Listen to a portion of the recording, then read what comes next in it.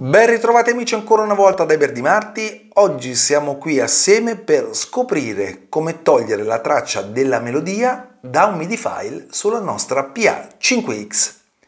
Prima cosa da fare è caricare un MIDI file nel player 1, andare a premere mixer, in basso qui a destra allora possiamo trovare la prima parte tutti i volumi dei pad, dei lower e dei tre upper, poi ricliccando qui entriamo nelle prime 8 tracce della song, facendo così nelle altre 8. Quindi play, andiamo song da 1 a 8, le prime 8 tracce, da 9 a 16 le altre 8 e vediamo quello che succede. Andiamo a fare pause. In questo caso la traccia della melodia è sempre la traccia 4. Premiamo mute, quindi M sulla traccia 4, poi premiamo setting.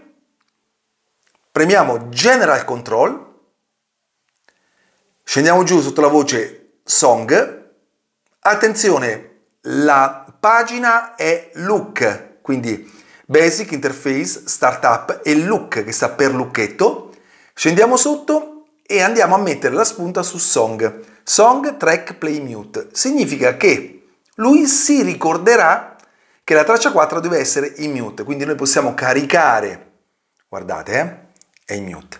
Se io vado a caricare un'altra canzone, la traccia 4 rimarrà in mute. Vedete? Perché se lo ricorda. Ma c'è una scorciatoia molto più intuitiva. Adesso tolgo il mute, andiamo nella parte del pannello sinistra, quindi questa, clicchiamo il tasto Main, mettiamo il view nella parte sotto, quindi non qui ma facciamo accendere il led sotto, ci spostiamo nella numerazione, qui dal numero 8, e troviamo Mel Mute che sta per Melody Mute.